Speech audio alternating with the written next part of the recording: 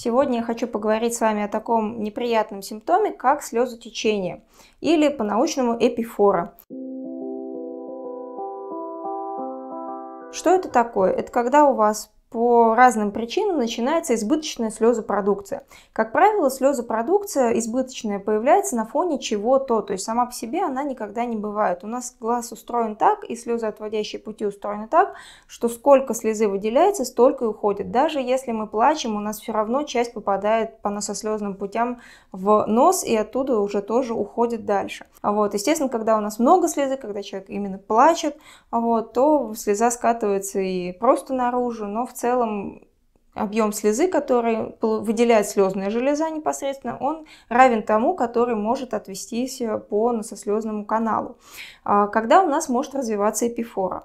А, это может быть несколько вариантов. Первый вариант – это патология слезоотводящих путей. То есть по каким-то причинам либо слезная точка не развелась, или она в э, силу травмы или каких-то воспалительных заболеваний закрылась, и у нас просто нет оттока, поэтому слеза стоит, слеза не оттекает. А есть вариант детский эпифоры, когда у нас еще не развит носослезный канал, а по каким-то причинам не отошла пленка, которая закрывает носослезный канал, а она должна отойти во время первого вдоха.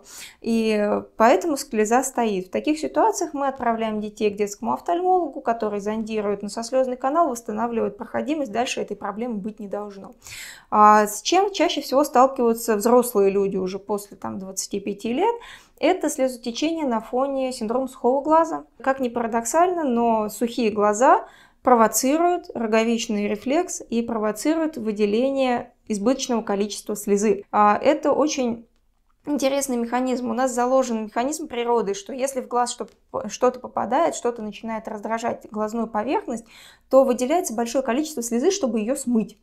А, синдром сухого глаза работает примерно так же. Когда слезная пленка высыхает, у нас образуется избыточное количество слезы, чтобы восстановить эту слезную пленку. К сожалению, эта слеза не та, которая нужна, потому что в норме у нас слеза состоит не только из жидкостной функции солевых растворов, но там еще и муцины, там еще и липидный компонент. Все это вместе образует трехслойную пленку, которая лежит на глазу и должна обновляться постоянно при каждом моргании. А в силу определенных изменений при синдроме сухого глаза а, у нас нарушается липидная пленка, она быстро испаряется, она быстро разрывается, поверхность глаза становится неувлажненная, отсюда появляется ощущение сухости, и как бы по обратной связи у нас появляется сигнал в слезную железу, слезы мало, надо плакать, и начинает выделяться большое количество слезы. Поэтому если у вас вдруг на ровном месте после работы возникает слезотечение, а, я советую не бить тревогу вот, по поводу каких-то докроциститов, непроходимости слезных путей, а сначала посмотреть, достаточно ли увлажнения вашим глазкам.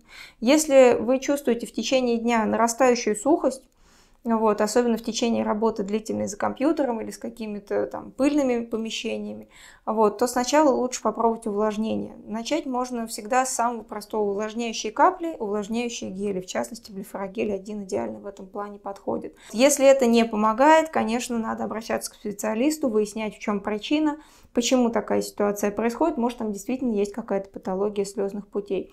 А, и действительно, если такая проблема есть, то ее надо решать. В любом случае, вы можете всегда начать с самого простого, с того, что абсолютно безопасно, что вы можете применять самостоятельно. Увлажняющие гели, блефорогель 1 или любые увлажняющие капли.